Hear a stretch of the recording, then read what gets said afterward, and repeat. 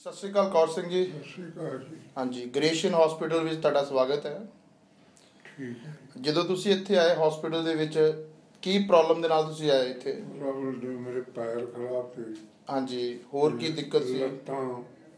ਲੱਤਾਂ 'ਚ ਕੀ ਤਕਲੀਫ ਸੀ? ਲੱਤਾਂ ਚੱਲ ਨਹੀਂ ਸਕਦੇ ਚੱਲ ਨਹੀਂ ਸਕਦੀਆਂ ਸੀ। ਤੇ ਹੁਣ ਇੱਥੋਂ ਦੇ ਜਿਹੜੇ ਡਾਕਟਰ ਆ ਹਸਪੀਟਲ ਦੇ ਉਹਨਾਂ ਨੇ ਤੁਹਾਡੀ ਇਸ ਪ੍ਰੋਬਲਮ ਬਾਰੇ ਕੀ ਦੱਸਿਆ ਤੁਹਾਨੂੰ? ਉਹਨਾਂ ਨੇ ਕਿਹਾ ਬਿਲਕੁਲ ਠੀਕ ਹੋ ਜਾਣਗੇ ਹਾਂਜੀ। ਦਵਾਈ ਵੀ ਮਤਲਬ ਮੈਨੂੰ ਦਿੱਤੀ ਹੈ ਹੁਣ। ਓਕੇ। ਤੇ ਉਹ ਕਹਿੰਦੇ ਵੀ ਇਹ ਥੋੜਾ ਜਿਹਾ ਇਲਾਜ ਲੰਬਾ ਹੈ। ਹਾਂਜੀ। ਤੇ ਬਿਲਕੁਲ ਠੀਕ ਕਰ ਬਿਲਕੁਲ ਠੀਕ ਕਰ ਦਾਂਗੇ।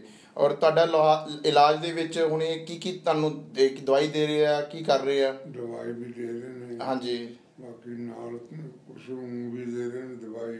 ਤਿੰਨ ਮਹੀਨਿਆਂ ਦੀ ਊਂ ਵੀ ਦਵਾਈ ਦੇ ਰਹੇ ਕਸਰਤ ਵਗੈਰਾ ਵੀ- ਬਾਰੇ ਵੀ ਦੱਸਿਆ ਤੁਹਾਨੂੰ ਕੁਝ। ਕਸਰਤ ਬਾਰੇ ਵੀ ਦੱਸਿਆ ਕਰਨ ਵਾਸਤੇ? ਹਾਂਜੀ ਦੱਸਿਆ ਵੀ ਥੋੜਾ ਐਕਸਰਸਾਈਜ਼ ਕਰਨੀ। ਹਾਂਜੀ। ਔਰ ਡਾਕਟਰਾਂ ਦਾ ਤੁਹਾਡੇ ਪ੍ਰਤੀ ਕਿਦਾਂ ਦਾ ਵਤੀਰਾ ਹੈ ਇੱਥੇ? ਔਰ ਸਟਾਫ ਦਾ? ਵਤੀਰਾ ਬਹੁਤ ਅੱਛਾ। ਹਾਂਜੀ। ਹਰੇਕ ਚੀਜ਼ ਡੀਲ ਕਰਨਾ ਹਾਂਜੀ। ਬਹੁਤ ਹੀ ਅੱਛਾ ਹੈ। ਹਰੇਕ। ਖਾਣਾ ਖਾਣਾ ਪੀਣਾ ਸਾਰਾ ਇੱਥੇ ਹਸਪੀਟਲ ਦੇ ਵਿੱਚ? ਸਾਰਾ ਪੀਣਾ ਖਾਣਾ ਪੀਣਾ ਬਹੁਤ ਅੱਛਾ ਹੈ। ਹਾਂਜੀ। ਜੋ ਬੱਚੇ ਨੇ ਇੱਥੇ ਡਾਕਟਰ ਨੇ ਮਤਲਬ ਸਾਰਿਆਂ ਦਾ ਆਪਣੇ ਵਰਤਾਵਾ ਬਹੁਤ ਹੀ ਅੱਛਾ। ਅੱਛਾ।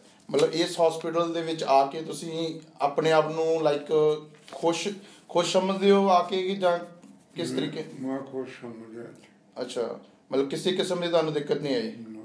ਔਰ ਤੁਸੀਂ ਆਪਣੇ ਇਸ ਹਸਪੀਟਲ ਬਾਰੇ ਹੋਰ ਕੀ ਦੱਸਣਾ ਚਾਹੁੰਦੇ ਹੋ? ਮੈਂ ਕਹਿੰਦਾ ਵੀ ਬਹੁਤ ਅੱਛਾ। ਇਦੋਂ ਸਾਫ਼ ਸਫਾਈਆ ਖਾਣਾ ਹੂੰ ਹੂੰ। ਡਾਕਟਰਾਂ ਨਾਲ ਰਹਿਣਾ। ਡਾਕਟਰਾਂ ਨਾਲ ਡੀਲ ਕਰਨਾ ਬੱਚਿਆਂ ਨਾਲ ਡੀਲ ਕਰਨਾ ਬਹੁਤ ਹੀ ਅੱਛਾ